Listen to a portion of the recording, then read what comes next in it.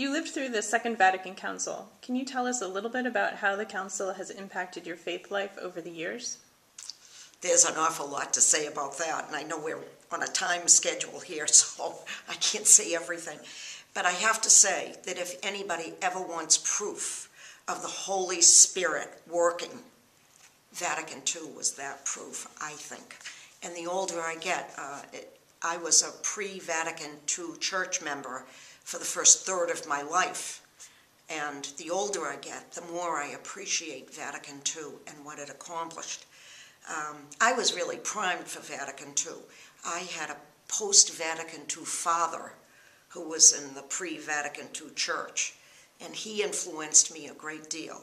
Um, he worked as a religious mural artist all of his life, and um, he had seen and been and lived uh, a life that gave him very, very great vision. Um, so none of the changes in the church were a surprise to me. I sort of was primed. And then I went to Emmanuel College, and the Sisters of Notre Dame de Namur uh, may have been enclosed in their habits, but their um, fantastic intellects and their embracing of social justice and all things um, that the Holy Spirit would inspire you to embrace were um, principles that they laid out for the women. And to this day, I'm grateful for their influence in my life, and I cherish those years. Um, you know, uh, Vatican II was frightening. I mean, I had a lot of elders in my family, and it was frightening and blasphemous, really, to some of them, because, of course, they were used to, well, the mass changes, for example. Um, to them, you know, you went and you said your rosary, and then the priest did his thing, and then and there was mass. Um, but again, at Emmanuel College, there were no boys to be altar boys, and so we were used to a dialogue mass. So, you know, how lucky was I when the when I, the mass changes came about? Uh, but all of the the uh, emphasis of scripture, the um, the changes in baptism, we baptized two little girls, and I never went to their baptisms. I mean, how sad is that? Um, I think of it now, and that's why I'm so overjoyed to be present at baptisms at church because I I missed it with my own kids, and it, it's such an important and wonderful experience to think of these children coming into the faith and you know and being part of the community. Um, the changes, the a little example that a lot of people may res- may resonate with a lot of people. Uh, when I was a little girl, uh, I used to go visit my grandmother on Saturdays, and I used to go visit my cousin who was around the corner. And she and I dutifully would go to confession every single Saturday afternoon. We were about eight or nine years old, you know and we would go to confession. Well, what do you do when you're eight or nine years old, especially in a strict Italian family? You don't get to do a whole lot that's bad, and if you do, your mother's telling you about sin, sin, sin, sin, sin, so you're scared.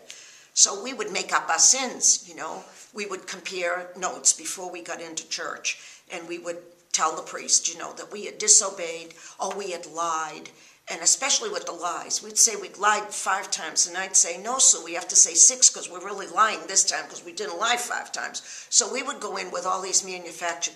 All I can think of was the poor priest sitting there listening to all that. Well, of course, Vatican II brought us to a different view. It wasn't the rules and the little rules and the little regulations anymore. It was where your heart is. And the formation of conscience, um, the social justice issues that had always been part of church teaching, but now came sort of to the forefront. It was not, I mean, it was not the easy church anymore. It became the hard church. It's a, it's a challenge. Uh, before I could go to church on Sunday and I could not eat meat on Friday and I could observe all these little rules and regulations. And here I was, I was in the box and I'm tight with God. Now it's relationship. It's where am I with, with other people? Um, how do I love? How do I put myself second and make other people as much important in my life as I am in, important in my life? It's about love. Um, and it isn't about strict rules and regulations. It has to do with relationship, and that's tough. Um, so it's a more challenging situation, and it's harder to do. But it's such a joy. It's so freeing. Um, I, I liken it to to the church releasing me from the iron mask. Um, the idea that now we are developing real relationship with God. It's a joy to be part of this post-Vatican II church, and I am so grateful to God that I got to be here. So I could go on for hours, but nobody's that interested in what I have to say. They're busy living it.